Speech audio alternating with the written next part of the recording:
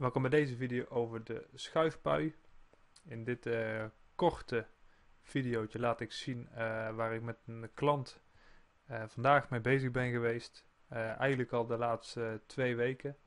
Want deze klant um, die wil zijn huis verbouwen uiteraard. Anders komt hij niet bij ons.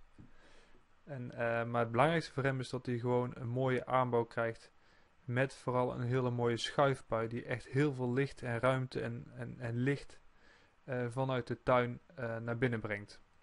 Natuurlijk wordt het huis uh, dieper, dus daardoor ook wat donkerder. En daardoor was die schuifpui heel erg belangrijk.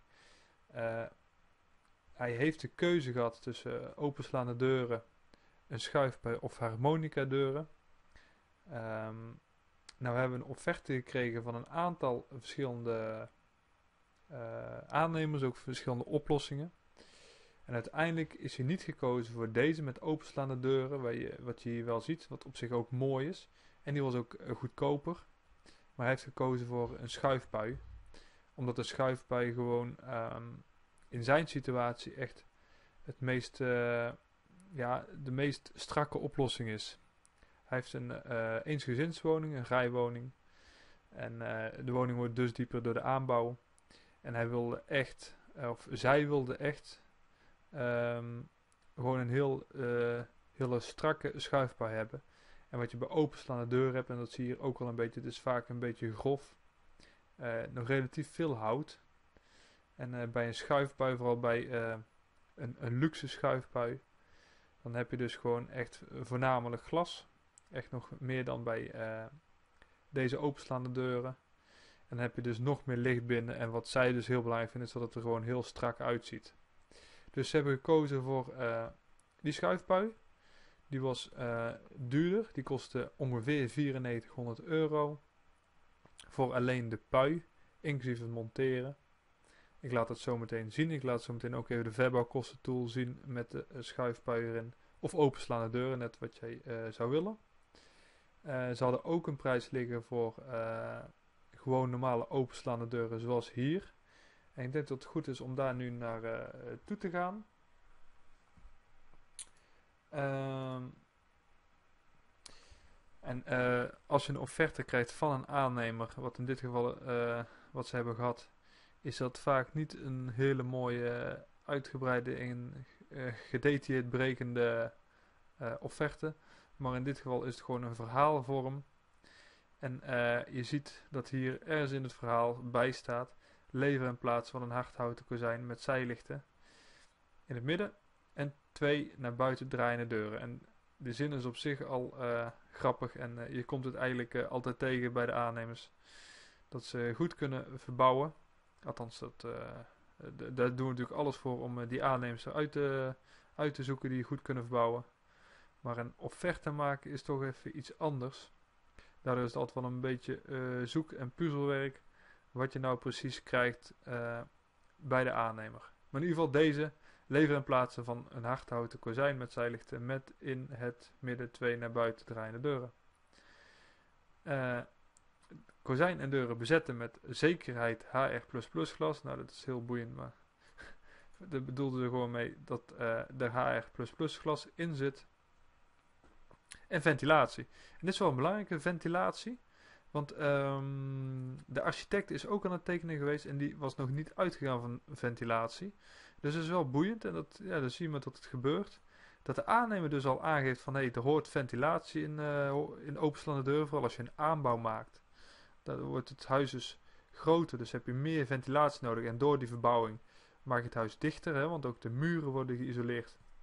En uh, het dak wordt geïsoleerd in dit geval. Uh, ik zal hier onder deze video nog even wat meer zetten over de isolatie van het huis, want dat heeft vaak, ja, dat gaat vaak in combinatie. En um, daardoor wordt het huis dus dichter. Dus uh, naden en kieren die worden opgevuld, want daardoor kan alleen maar tocht, kou en ongedierte binnenkomen. Maar het is dus, uh, samen met een groter wordend huis, dat het meer ventilatie nodig heeft, terwijl je het eigenlijk dichter gaat maken. Dus je hebt echt ventilatie nodig. En dat was nog wel, uh, nou ja, geen discussie, maar uh, um, dat heeft toch wel even wat overredingskracht gekost om die uh, klant ervan te overtuigen dat het echt nodig is. om ventilatie te laten tekenen door de architect in zijn verbouwing. En het boeiende was natuurlijk dat die architect dat zelf niet heeft gedaan. Maar ja, ik vond het in ieder geval erg nodig omdat je vaak oplossingen ziet waarbij naar de rand ventilatie moet worden gemaakt. En dan kost dat extra geld. En vaak is het ook erg lelijk. Dus detail misschien, maar wel erg belangrijk. Als je een schuifpui wilt. Of natuurlijk gewoon openslaande deuren. Nou, uh, wat het is geworden is op dit moment nog een, uh, een schetsje. en dat is niet meer dan dit. Uh, architect is aan het tekenen, maar het is in ieder geval helemaal glas. En dit is echt maar het schetsje natuurlijk. Maar het, het is wel, de profielen zijn heel dun. En dus de hele aanbouw aan de achterzijde heeft een pui van 5 meter 20 breed en 2 meter 47 hoog. Waarbij dus twee van de vier panelen helemaal naar buiten schuiven. En ook die vaste panelen uh, ook helemaal van glas zijn. En dus niet een, uh, een houten kader hebben. Uh, als je dit dan nog een stapje verder brengt, want dit was dus al een dure oplossing van 9400. Dan kun je kiezen voor harmonica deuren. Is per situatie anders, dus ik zal hier ook onder de video voor harmonica deuren meer informatie zit als je daar de prijs van wilt. Um, en ook trouwens voor schuifdeuren. Dan uh, kun je die aanvragen met de prijsvergelijkingsmodule op verbouwkosten.com. En je kan ook gewoon kijken op verbouwkosten.com schuine streep schuifbuien. Um, wat we vervolgens hebben gedaan is... Um, wacht, ik kan hem even laten zien. Dan kom je hier bij een vergelijkingsmodule, waarbij je gewoon uh, je gegevens kunt invullen. En dan krijg je uh, gratis uh, een aantal prijzen van een schuifpui van bedrijven uit de buurt. Wat je ook kunt doen, is gebruik maken van de verbouwkosten tool. Heb je misschien ook wel eens iets over gehoord. Ik heb voor de klant de verbouwkosten tool gebruikt om prijzen uh, te vergelijken. Want hij vroeg mij, dat was de, eerste vraag van... Ik heb offertes gekregen en wil je die gaan controleren, bekijken en gewoon kijken of ze gewoon niet te veel rekenen, of ze niet te duur zijn. Dus dat heb ik gedaan, daar heb ik de verbouwkosten tool voor gebruikt. En als je gewoon in de verbouwkosten tool, ik scroll er even nu snel doorheen, naar het gevel en dak deel in de verbouwkosten tool. En dat is hier het tweede deel. En dan zie je dus dat um, het is gekozen voor een schuifpui te plaatsen uh, van waar nu het raam zit. Dit is dus een situatie waar er geen aanbouw zit, maar dat er gewoon, ja, dat het gewoon een huis is uh, zonder aanbouw, maar dat er wel een schuifpui komt. Gewoon waar nu nog een raam zit. Met een stukje gemetselde borstwering eronder. En nog een uh, verwarming natuurlijk. Je kent zo wel de situaties. En wat veel mensen willen, en terecht denk ik, is dat gewoon daar vanuit de woonkamer de tuin instappen. En soms in combinatie met het maken van een open keuken.